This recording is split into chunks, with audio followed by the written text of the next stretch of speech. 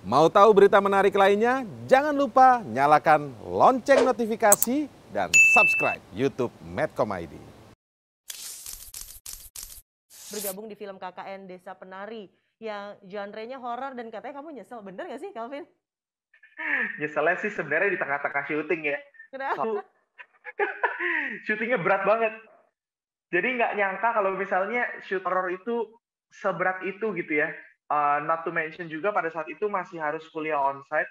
Jadi harus uh, sempat bolak-balik jam Jogja, Manila dan seterusnya lah gitu. Uh, Tapi uh. di sana tuh tantangannya, pressure-nya gede banget gitu. Jadi kita harus syuting di tengah hutan. Oh, oh. Udah gitu juga kondisinya kan kalau misalnya, wah misalnya artis kalau kata orang-orang tuh ya, nunggunya tempat nunggunya bagus, di sale semuanya ada gitu ya, di sale semuanya ada gitu ya. Hmm. Tapi since ini tuh uh, kita syuting horror tengah hutan, jadi harus harus kita juga harus sur- survival mode on dalam arti yaudah tempat yang bisa dibuat nunggu ya udah tunggu di situ.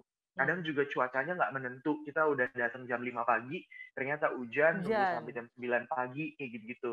Terus juga eh, apalagi ini kan emang ceritanya juga udah diangkat dari sesuatu yang viral ya. Terus netizen kan apa di Indonesia ini sangat budiman gitu dalam berkomentar. jadi jadi kita juga kayak pada saat oke harus ada in character tapi aduh nanti kalau misalnya netizen bilang jelek gimana? Itu jujur pasti ada sih pikiran itu. Jadi pressure-nya tuh gede banget sih di sana. Jadi pa- pada saat itu aduh kalau mau kayak gini gue kayaknya bakal nyerah deh. Tapi akhirnya karena memang aku seneng gitu ya dengan seni peran bisa mempelajari karakter tokohnya karakter lawan mainnya dan juga lawan mainnya pada saat itu juga semua profesional banget.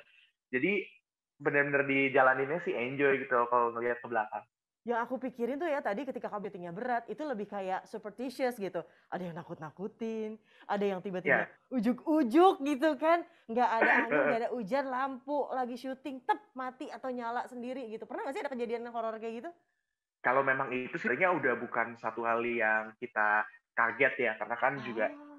uh, syutingnya juga tempatnya jauh dari keramaian jauh dari uh, civilization lah gitu jadi uh, ada yang sampai kita harus syuting di dekat air terjun gitu itu diwanti dari awal.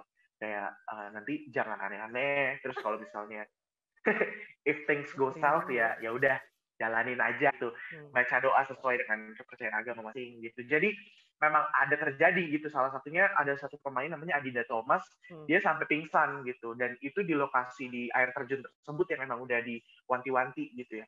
Jadi hal-hal kayak gitu sih emang udah kita antisipasi lah dan ya memang ada kejadian-kejadian gitu di tengah syuting tiba-tiba badai tiba-tiba harus berubah gitu tuh udah berkali-kali lah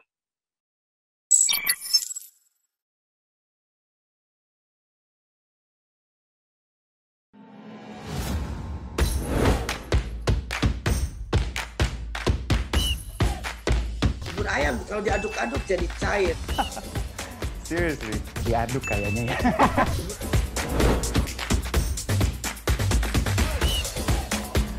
Mau pro luar negeri gimana ya? Ini, demi kemajuan bangsa Indonesia.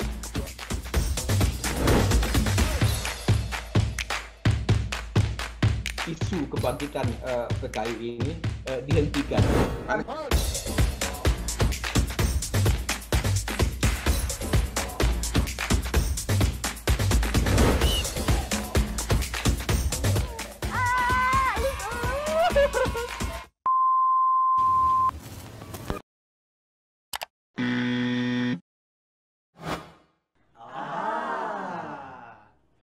Medcom.id, a part of Media Group News.